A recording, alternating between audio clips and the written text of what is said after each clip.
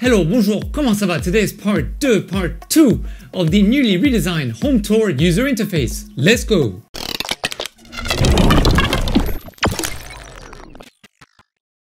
Welcome back to VR Essentials where we talk about the practical uses of VR. Woo!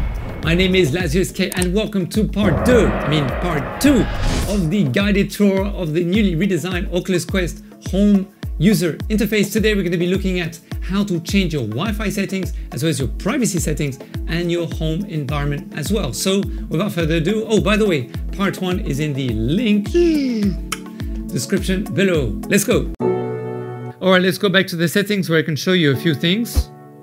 So of course the other thing that you're going to be required to do, although you should have done this already during the installation process, is knowing where your Wi-Fi is because you may go to a friend's house or a different location and you you know will want to change the Wi-Fi settings. So all you have to do is click here. I'm not going to click because it will stop the recording for security reasons. And then once you click on this, a new pop-up will come up. And then all you have to do is change the details and the Wi-Fi that you're connected to. Now to know what everything does, all you have to do is mouse over and then it will tell you what is happening. So mute microphone, for example, if I don't want the microphone to work, here we can change to night display. So night display, everything goes a bit more yellow. It can be a bit more harsh on the eyes, by the way. So I generally tend to leave it to, to day mode. And there's also a do not disturb, which is great because it means that people uh, can't disturb you whilst you're in act actually in the game so they can't invite you to a party or something like that and then you can also reset your view so when you click on this it will basically when you move your head the UI will move your head with you and then all you have to do is click on confirm and then the UI will stay wherever you clicked confirmed on. The other thing that you can do is you can adjust the brightness here. So to adjust it, you just click and hold your trigger and then there you go. So of course, the less bright, the more battery you will conserve and the longer your quest will last. And then also you can adjust the volume directly from here as well, as opposed to uh, clicking on the buttons which are underneath the Oculus Quest headset. So let's stay in the settings very quickly. So if we go to device, uh, device, there are other settings that you can do as well. So basically, if you look at the quick actions, everything is summarized here, but then in device, everything is basically broken down. But inside device, you can also change other things. For example, the language, and you can also change your privacy here. So this is pretty important. Uh, generally speaking, my real name is fine. I will let anyone know what my name is. But for my activity, I only put me and also my friends list, I only put myself. So this is just my personal preference. Of course, you may have different preferences. Uh, the other thing is you can change all your notification settings here. So my activity, I don't put on. My friend's activity, I don't put on. Codes, credits, recommendations. I basically, sales and promotions, I do leave them on because it's nice to know when there's a discount.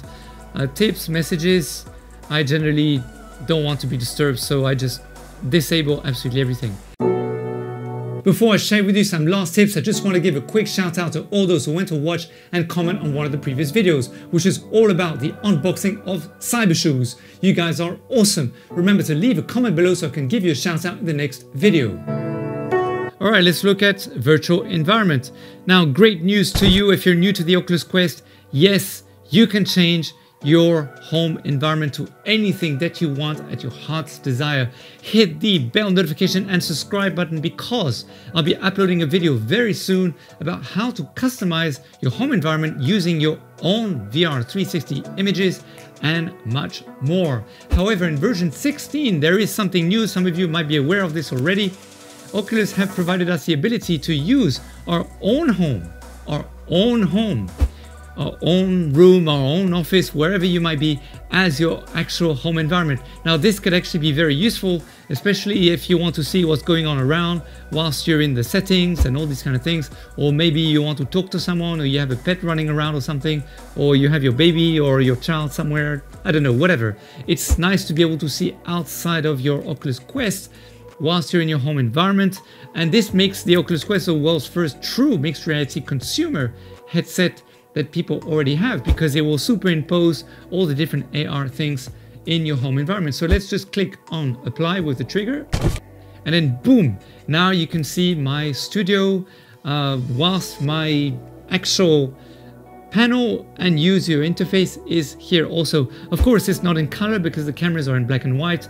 So I don't think we'll ever have color with this Oculus Quest. Perhaps with the next Oculus Quest, it will be done much better. However, the resolution will undoubtedly get better as time goes by. So you can also go to Quest Dome, which is basically the standard one, is the first ever um, home that came with the Oculus Quest when we first got it. Classic Home came later on, and then also Winter Lodge, Winter Lodge, sorry, came later on as well, which is a really cool environment. I really do like the Winter Lodge a lot. It's so nice and classy. And also Space Station. So Space Station is quite new. As you can see, I have to download it. So I clicked on download and it will take whatever time to download. Generally, it's pretty fast. Uh, it seems that it's downloaded already. No, it's installing, okay. So it will just take a few minutes to install and I can show you what it looks like.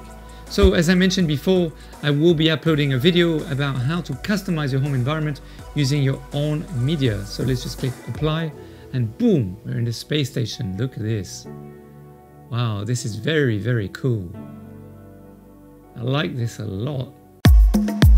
Thanks for watching today's video. Remember to like and subscribe, share some love so that you and I together we can grow the community and help as many people as possible in VR because ultimately that is what it's about. Hit the bell so you get notified when I will be uploading part 3 which will be very soon. Until next time, high five to you. Oh, high five to you. Take it easy as always, DJ, music, take it away.